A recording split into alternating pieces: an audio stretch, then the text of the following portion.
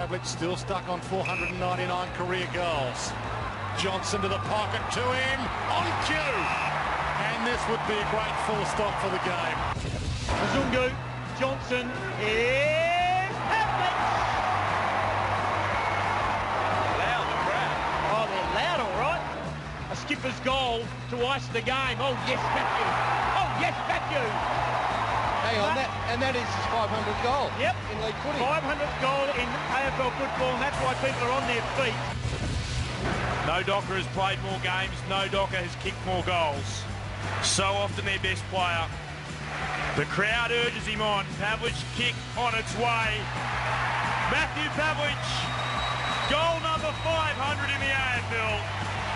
And the Fremantle fans around Subiaco stand as one. Here it is. Goal number 500. Matthew Pavlich knows Listen it. The crowd The knows fans. it. Of three paces. He kicks. Yes! There's the milestone. 500 for Matthew Pavlich. What a fantastic footballer he's been. A standing applause. Yes. The Purple Army say to the captain, well done.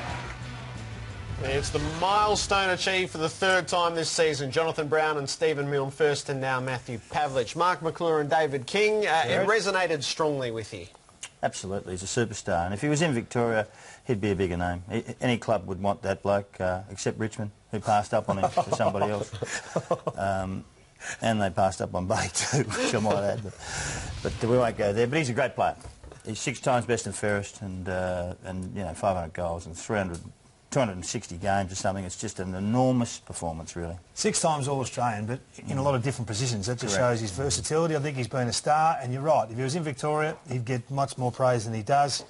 Been a professional for a long time, and he's as fit now, I think, than he's, Spectacular. he's, as fit, he's fitter now than he's ever been in his career, and I think it's a credit to the new regime under Ross Lyon. All-time great of the AFL, or just? Oh, he's a Hall of Famer. Uh, oh, there's no doubt he'd be a Hall of, Hall of Famer, but is he is he with Carey and Matthews and and goes from Jesaulenko? Is he, is There's he, not many with him. No, they're not. They're they're the true champions of. He might be just under. There's a big group just under, isn't there? Yeah, he's one of them. Hmm.